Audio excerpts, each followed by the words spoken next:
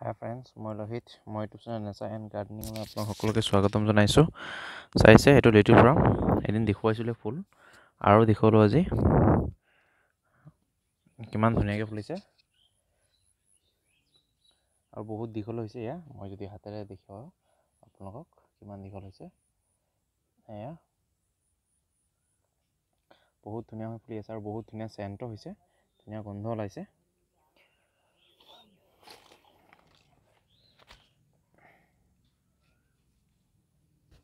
শিপাও ওলাব ধৰিছে ইয়াত ধুনীয়াকৈ। মোৰ সেইটো হ'ল প্ৰায় ছেট হৈ গৈছে ইয়াত। টাবটোত এইটো মোৰ মাটি পট ইয়াত মই আচলতে মই সকলোমতে কৈ থাকোঁ যে ফুটা লাগে কিন্তু ইয়াত ফুটা তথাপি ধুনীয়াকৈ হৈ আছে। আপোনালোকে এনেকুৱা মাটি পট হ'লে আপোনালোকে এনেকৈ দিব পাৰে। আৰু এটা বস্তু শিপাবিলাক যাতে এনেকৈ বাহিৰলৈ ওলাব পাৰে বিশেষকৈ ইয়াৰ ৰেড লোডবিলাক তেতিয়াহ'লে ধুনীয়াকৈ হৈ থাকিব। আৰু তলত ফুটা থকাটো জৰুৰী সেইটো লাগিবই। কাৰণ পানী যদি জমা হয় তেতিয়াহ'লে আপোনালোকৰ গেলি যাব। ফুলটো কিমান ধুনীয়া ইয়াৰ চাওক।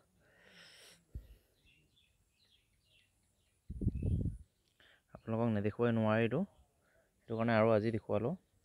সেইটো কিমান ধুনীয়া হৈ ফুলি আছে। আপোনালোকৰ যদি আছে আপোনালোকৰো ফুলিব এতিয়া। এনেকুৱা যদি আপোনালোকৰ ফুল আছে ফল আছে সেইবিলাক আপোনালোকে ইয়াত চাওক ইয়াত গুটি কিছুমান বীজ আছে। সেই বীজটো একেবাৰে পাউডাৰৰ নিচিনা।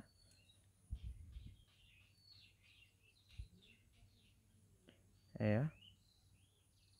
এইবিলাক আপোনালোকে এনেকৈ টাবতে এনেকৈ দি দিয়ে দি দিব লাগে টাবত। ইয়াত মই কেনেকৈ কি কি দিছোঁ সেইটো বিষয়ে কওঁ আপোনালোকক মই ইয়াত একো দিয়া নাই ইমান বেছি নাৰিকল অকল নাৰিকল বাকলি বুলি ক'ব পাৰি। অকল নাৰিকল বাকলি দিছোঁ তাৰপিছত এয়া মই দিছোঁ লিকাবল দিছোঁ সেইটোৰ ওপৰত আপোনালোকে সেইটো কিনিবলৈ পায়। কিন্তু আপুনি কিনিব নালাগে সেইটো আপোনালোকে কি কৰিব পাৰে ইটোৰ টুকুৰাবিলাক ভাগি ভাগি দি দিব পাৰে।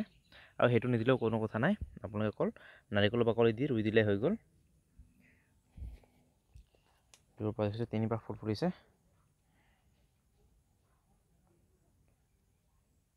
মোৰ এখন বহি থকা সৰু এখন চেয়াৰ সৰু হ'লেও মজবুত আছে বহুত বহি থাকোঁ তাতে আৰু দেখুৱাবলৈ বহুত বাকী আছে আপোনালোকক মই এটা এনে সৰু এটা ঘৰো বনাই আছোঁ জুপুৰি এনে বহি থাকিবলৈ তাত ফুলবিলাক সজাম এতিয়া তেতিয়া আপোনালোকক ধুনীয়াকৈ দেখুৱাম যেতিয়া বনাই আছে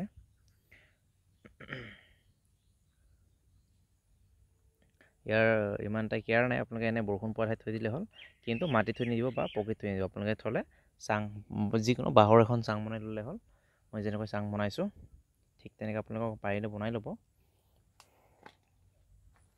কিছুমানে লৰ চাং বনাই দিছে তেনেকৈ হ'লেও হয় পাৰ্মানেণ্টলি কিন্তু কম বাজেটৰ কাৰণে বাঁহৰ চাং বনাই ল'লে হ'ল ধুনীয়াকৈ। তিনি বছৰ আৰামছে যাব।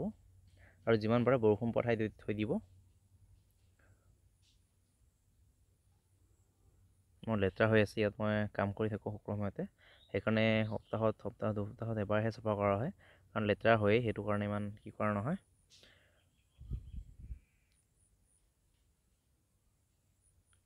আপোনালোকে পাৰিলে এনেকৈ কৰিব। মাটিৰ তাত।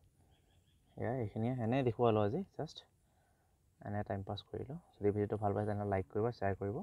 ছাবস্ক্ৰাইব কৰিব লগতে বেল আইকনটো দবাই দিব।